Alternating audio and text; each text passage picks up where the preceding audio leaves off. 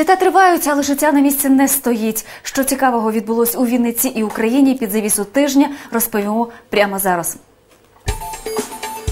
Політика чи здоров'я дітей? Що важливіше? Бюджетникам розморозять зарплати. Пенсії з поправкою на революцію. Стрітворкаут це здорово. Три тижні замість трьох місяців необхідного лікування отримав 12-річний вінничанин у кримському санаторії. Після окупації півострова дитину відправили додому. Мовляв, оздоровниці тепер російські, тож і лікуватися у них мають право кримчани та росіяни.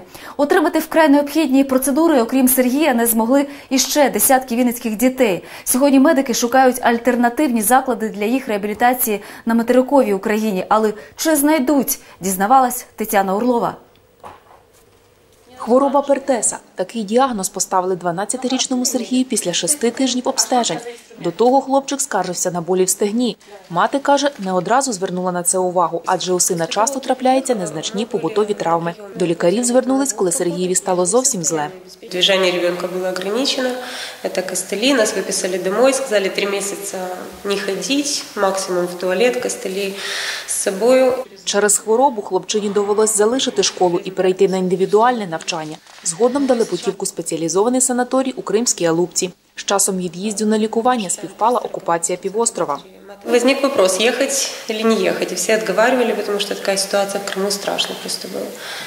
Ну, выхода у нас не было, лечить ребенка нужно, помочь некому, неоткуда. И помолились и поехали. Семиразове харчування, лікувальні процедури, море та кримське повітря дали результат. Сергію покращало. Лікарі зробили додаткові обстеження і навіть відмінили милиці. Мати планувала провідати сина 30 березня. Заздалегідь придбала квитки. И тут он мне звонит за неделю до того, как я должна выезжать. Говорит, срочно в течение двух дней сказали всех забрать детей украинцев. Жителі східних областей України та Криму, за словами матері, звернулись до російської влади та дозволили їм продовжити лікування. Сергій же отримав лише третину від необхідного курсу. У департаменті охорони здоров'я заспокоюють. Альтернатива кримським санаторіям є в Одесі, Бердянську, Закарпатті та Прикарпатті. Лікуватись можна і на Вінниччині. У нас є три протитуберкульозних санаторія. Е, Вони розташовані в Козятинському районі, в Барському районі і в місті Могилів-Подільський. Є Тульчинський ортопедичний санаторій, е, Липовецька лікарня відновного лікування, де лікуються діти з ортопедичною патологією і діти з неврологічною патологією, Вінницький кардіоревматологічний санаторій і е, Заболотнянський психоневрологічний санаторій.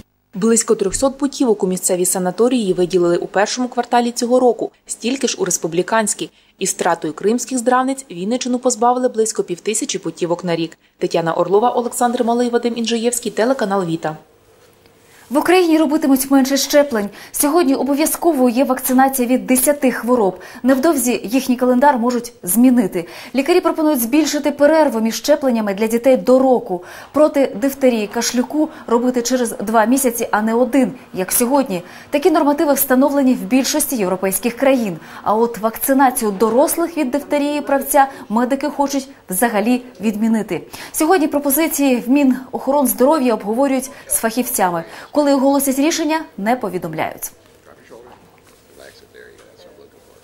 Революційні події та російська воєнна загроза змінили вітчизняне пенсійне законодавство. Згідно відповідного рішення уряду, поновили виплати військовим пенсіонерам у зв'язку з оголошеною мобілізацією. Раніше, по завершенні служби, їм припиняли нарахування за вислугу років. З 1 квітня такі пенсії почали виплачувати 54 вінницьким військовим. Отримуватимуть пенсії по втраті годувальника і родини, члени яких загинули під час революційних подій. В області таких чотири. Окрім того, їм призначена щомісячна державна допомога у розмірі 5 тисяч гривень. Але порядок виплат Мінсоцполітики ще визначає. Сьогодні пенсію по втраті годувальника вже отримує родина загиблого на майдані жмеринчанина. По іншим питання вирішуються. Зокрема, це стосується матері Максима Шимка. Якщо у нас е, за загиблого Максима Шимка сьогодні є батьки, е, в нього немає дітей до 18 років, то е, в зв'язку з тим, що вони є пенсіонери, то сьогодні визначається можливість переводу, наприклад, матері на пенсію по втраті годувальника для того, щоб е, була можливість. е, призначити дану доплату Кабмін вирішив розморозити зарплати бюджетникам. Вже затвердив своїм розпорядженням нові тарифні ставки для працівників закладів та установ окремих галузей. З 1 жовтня в їхніх штатних розкладах з'являться нові цифри. Оклад спеціаліста першого тарифного розряду становитиме 1218 гривень, а шостого відповідно 1263. Зазначимо, що з 1 січня цього року зарплата бюджетників розраховується на базі посадового окладу працівника першого тарифного розряду. Він складає 852 гривні, тож восени зросте більш як на 3,5 сотні. Нагадаємо, з 1 травня, згідно антикризового закону, українським чиновникам на 10% урізали пенсії. Тепер їм нараховуватимуть 70% від зарплати. Щойно потеплішало, як спортивні площадки міста заполонили стрітворкаутери. Їх ще називають вуличними чи дворовими спортсменами, бо для занять цим людям не потрібні тренажерні зали. Головне для них свіже повітря, земля під ногами, турнік, бруся та шведська стінка. Про особливості тренування на вулиці у матеріалі далі. Тут нічого не потрібно. Є тільки тіло і вуличні тренажери, розповідає Віталій Ворохоп. Хлопець один з перших у Вінниці почав займатися стрітворкаутом. За чотири роки став міжнародним рекордсменом. Нині просуває дворовий спорт у маси. Главное, чтобы было турник, бруся и земля. И все. А все остальное это дополнительные э, упражнения, там кольца можно, там, ну, шведская лестница для пресса. Там. Головний стрітворкаутер каже, ним рухає бажання зробити вінницьку молодь здоровою і допомогти позбавитись шкідливих звичок. Хлопець певен, вуличний спорт не тільки змінює свідомість, а й тренує усе тіло. Бицепс, трицепс, предплечье, плечи, грудь, спина, пресс, ноги, сідниці.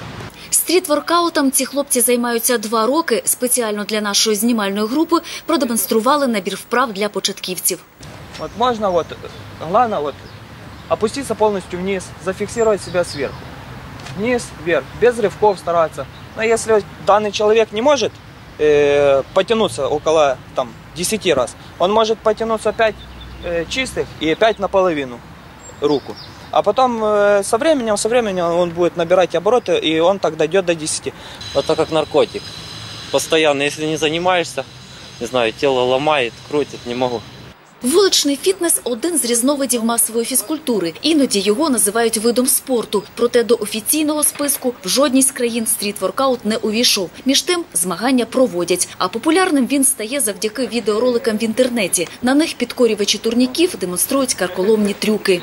Тіло змінилось ка- кардинально, тому що ежедневні тренування дають про себе знати. І от тіло загалом змінилося. Я набрав мишечну масу, трішки так, обичної маси. Вінницькі турнікмени тренуються тричі на тиждень. В їхньому арсеналі понад 10 елементів. Наразі готуються до змагань. Вони відбудуться у Вінниці 17 травня. Олена Гук, Олег Літвінцев, телеканал Віта.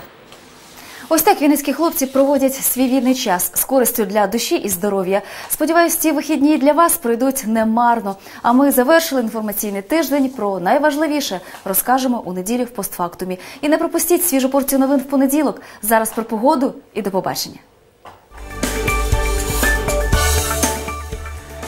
3 травня у Вінниці мінливо хмарна погода, часом невеликий дощ. Температура вночі 7-15 градусів тепла, в день ще тепліше, плюс 20, плюс 25.